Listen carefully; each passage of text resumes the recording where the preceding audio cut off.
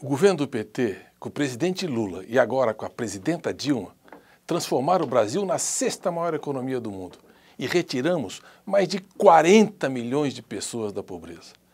Para continuar avançando, o Brasil precisa colocar a educação como prioridade em todos os níveis. E o Ministério da Educação quer avançar ainda mais na parceria com a sua cidade, através do Brasil Carinhoso para a construção de creches e pré-escola, o programa Mais Educação, que é a escola tempo integral, sete horas com três refeições e muitas atividades de reforço escolar, a formação e valorização dos professores, o Pronatec, que nós vamos chegar ao final do ano já com um milhão e meio de alunos na educação técnica e profissional para que ele esteja pronto ao mercado de trabalho, as bolsas de estudos do ProUni e do FIES, as universidades federais, os institutos federais de educação técnica